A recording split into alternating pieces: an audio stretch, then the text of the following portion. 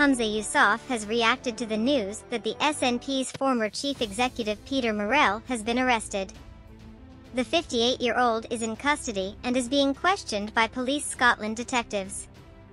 The First Minister told journalist Alan Smith, as you'll understand I can't comment on a live police investigation, but what I can say and what reassurance I absolutely can give is that the SNP have been fully cooperating in that police investigation and will continue to do so.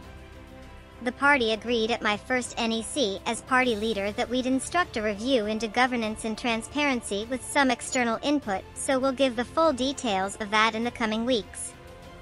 Officers are carrying out searches at a number of addresses as part of their investigation. Asked when he was made aware of the arrest, Yousaf said, this morning after the event and I think that's really important for me to stress. Of course I am following it just as much as anybody else is but as I keep saying the party will fully cooperate as has already been reported for example.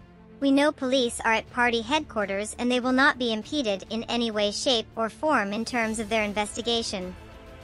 Police were also photographed standing outside of a police cordon at Mo's home in Uddingston, with a blue and white tent covering. Contempt of court, what can't media report on Peter Mo's arrest? In an interview with the PA news agency, Yousaf was asked if he had looked at the SNP's finances or noticed any irregularities. He said, of course as party leader I will know the financial state and health of the party. As I've already made it clear, one of the first things I did, as you can imagine, was talking to our party lawyers around about the current live police investigation. Look, I've never been an office bearer in the party, I've never had any role in the party finances. Therefore there's an opportunity with new leadership to make sure we are being transparent, we're being open, that's what the NEC agreed to in terms of its review, and external input feeding into that I think is important a Force spokesperson said, the matter is active for the purposes of the Contempt of Court Act 1981 and the public are therefore advised to exercise caution if discussing it on social media. As the investigation is ongoing we are unable to comment further.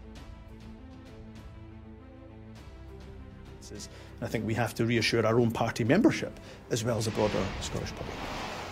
Humza Yousaf, the, the new leader of the SNP, responding to the news this morning that the husband of Nicola Sturgeon, uh, Peter Murrell, the former SNP chief executive, has been arrested by Police Scotland over an investigation into the party's finances. Humza Yousaf.